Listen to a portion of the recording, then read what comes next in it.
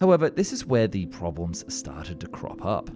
Ilyushin noted that the aircraft was experiencing severe vibrations at high angles of attack because of the wing design. Also, the fly-by-wire system would stop working at extreme maneuvers and the pilot would have to take over and try and save the aircraft in time. But the real disaster would strike in 1978. The second prototype crashed with the pilot dying. This put the project into serious jeopardy as the engineers scrambled to find a solution to the high angle of attack flaw. During the same year, two additional prototypes were completed equipped with the new AL 31 engines that were designed for the new fighter. But the engineers still hadn't figured out the problems with the controls and those extreme vibrations, causing some critics in the government to demand the cancellation of the program.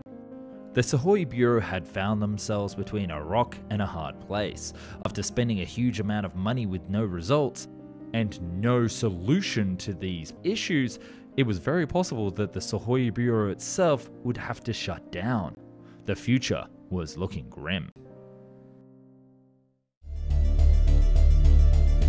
The engineers knew that this was a do or die scenario and they went back to the drawing board for two years to come up with a new, completely overhauled design named the T-10S. This was, in a way, almost a new aircraft.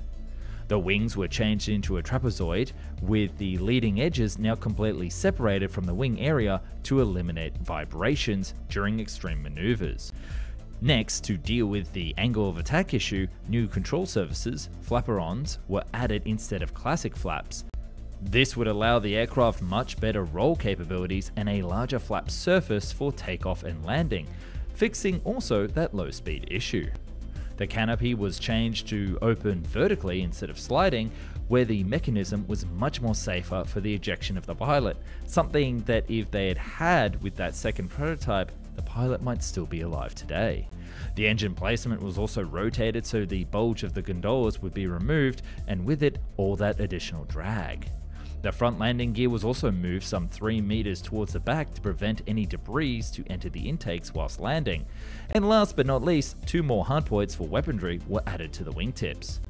Vladimir Ilyushin again performed the first flight of the new prototype, and the results were much better. But bad luck was not done with this jet yet, and the prototype crashed on one of the following flights.